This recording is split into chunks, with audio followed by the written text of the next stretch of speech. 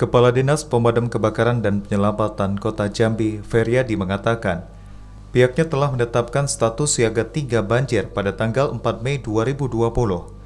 Penetapan ini diberlakukan melihat kondisi debit air Sungai Batanghari terus meningkat dan sejumlah kawasan mulai tergenang banjir.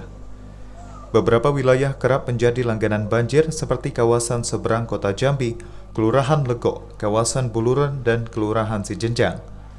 Diprediksi dalam beberapa hari ke depan, debit air sungai Batanghari terus bertambah.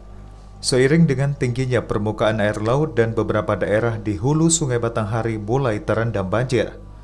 Feryadi menambahkan, pihaknya telah memastikan berbagai persiapan untuk penanganan banjir seperti tenda, perahu karet, perahu bot, dan lainnya.